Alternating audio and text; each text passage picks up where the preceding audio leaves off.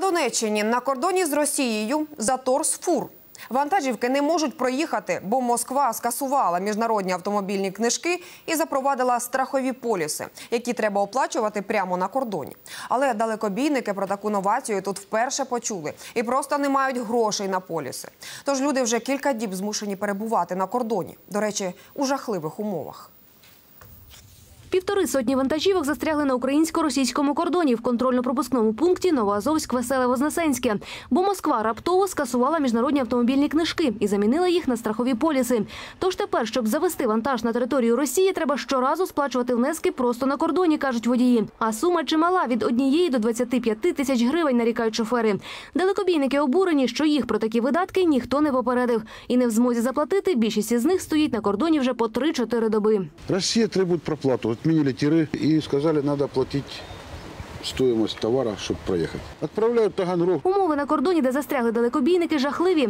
Туалетів немає взагалі, а ціни на харчі в тутешніх забігайлівках і магазинах вдвічі завищені. Хліб тут продають за 12 гривень, півторалітрову пляшку води за 15, найдешевша кава – 7 гривень. Но это у нас кафе, поэтому у нас такие цены, у нас не магазин. А вот только что мы покушали суп, тарелочка супа 25 гривен. А тут же ж ужасно цены. Водії невдоволені бажанням спекулянтів нажитися на їхніх проблемах. Та ще більше людей обурюють дії Росії. Хоть Россия и большая страна, но какое она имеет право отменять тиры, если это не она их вводила? И почему-то везде они все действуют, а от Россия ставит свою я.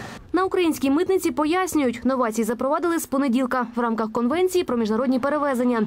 Вітчизняні службовці роблять усе, аби полегшити життя далекобійникам, але черги спричинені позицією сусідів. Нареканий и жалоб со стороны перевозчиков на действия э, пунктов пропуска восточной таможни не поступало. Митниця Росії запевняє, про нововведення завчасно повідомляли. Тож у заторах винні самі водії та власники фур.